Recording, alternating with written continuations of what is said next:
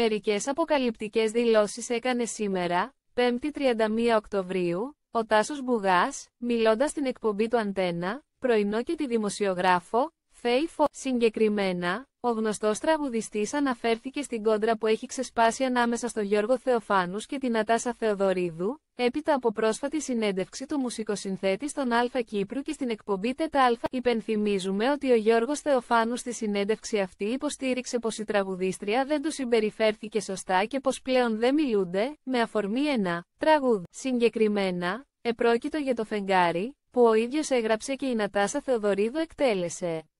Όπως είπε, εκείνος είχε δώσει άδεια για να παιχτεί σε γνωστή διαφήμιση, ωστόσο, όπως υποστήριξε, η τραγουδίστρια αρνήθηκε για να μην υποβαθμιστεί το τραγούδι και έτσι έχουν πλέον «Είναι όφη σχέση μας», δεν συμπεριφέρθηκε σωστά καθόλου. Να ξανασυμπεριφερθεί σωστά μπορεί. Βάζω κόκκινες γραμμές. Είμαι άνθρωπος που ξεχνά. Η απάντηση του Τάσου Μπουγά. Το τραγούδι πήρε μεγάλη έκταση μετά τη διαφήμιση, ακούστηκε παραπάνω. Το τι μπορεί να λέει η κυρία αυτή, δεν το ξέρω.